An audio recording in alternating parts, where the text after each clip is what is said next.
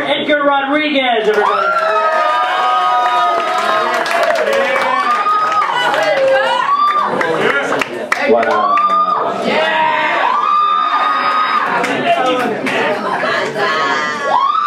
It's been kind of a long night. Uh, my friends have got me drinking water now. I'm that guy. They're like, Edgar, you really need to drink water. Not good. Not good. Good. How you guys feeling tonight? Yeah! Me too. Me too. It's not like a New Yorker to ask other New Yorkers how they're feeling. Because we already know how we're feeling. Bitter and angry because the tourists in front of us took two hours looking at a McDonald's because it had a second floor. really? Really? Tourists? Really? I love tourists, I do. I work at Starbucks, so uh, I deal with it. No, don't do that. Stop that right now. Not a, not a, not a fun. Uh, I'll talk to you after that, after me and my shrink finish talking about it. the best part about working at Starbucks, though, is the strippers that wait outside at 5 o'clock in the morning to get coffee. We have a strip club across the street. They come over. Seriously, they're waiting outside the door for me to open the door. With their stiletto fucking pink heels on. I just need to Zoe out. I'm like, stripper, is coffee really what you need at 5 o'clock in the morning?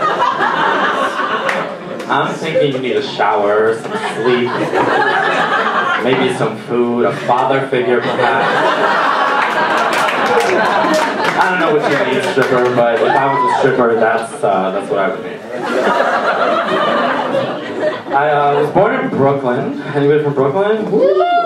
Yeah, it's usually a small crowd. Yeah, Brooklyn doesn't come out here too much. but the fucked up thing is that my family, at the age of seven, moved me to Florida to raise me.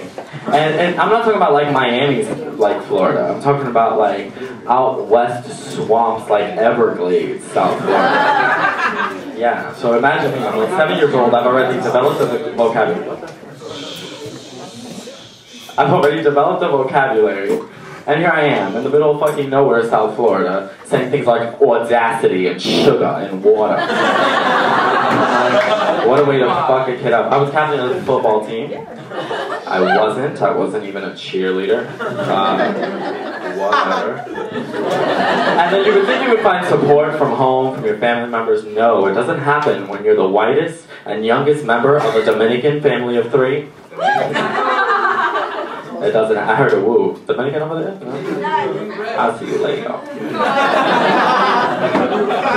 it doesn't happen. If you can imagine my siblings, my brother, my brother is a huge, dark, complete opposite of me. Dude with a, a, a tattoo on his back that says street disciple. He had to do that. I mean, you know, just to prove that he was hood. Yeah. The problem is that he spelled it wrong the first time. I said, boy, there's a C in disciple. So now you're just a street disciple. It's,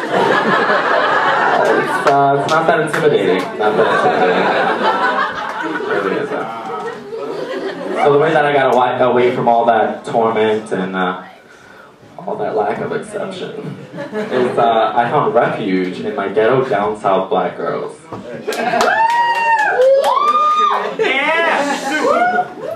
I, I, that's not what I expected to happen. I don't know where to go from here.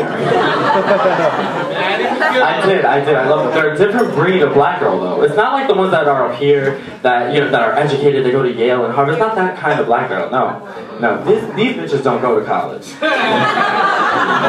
bitches have their baby daddy names tattooed on their stomach. Do you understand? These bitches do double dutch outside a check cashing store and flip flops while they're pregnant. These bitches. And of course, uh, every gay man wants to be that, that ghetto black girl at the DMV. Any gay men in the audience? Didn't think so. Didn't think so. Don't worry about it. I'll pull you out myself. Sir. Every gay guy wants to be the ghetto black girl at the DMV. Excuse me, sir. Over there, line 34, could you please step down to line B? Could you please step down to line B? Uh, yeah, I just, uh, I need to reinstate my license if you could help me out with that. Okay. Okay, And? Uh, well, I have form 1, 2, and 3 here. Uh, I was told that's all I needed.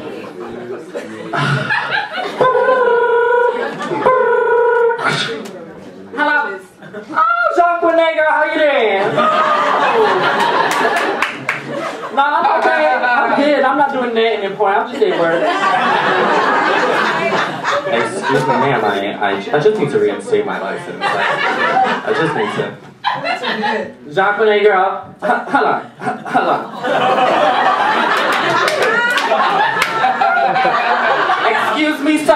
I do not what I do not know what the standards of manners are wherever you are from, sir. Wherever it is that you are from, sir. But here at the Holy Oklahoma County DMV, we do not interrupt when somebody's talking on the phone. I'm sorry, John Conego. He just he just don't know how to act. He just he does not know when to stop talking about his business. Everybody else do that. Okay, one last thing. So, anybody in here have kids?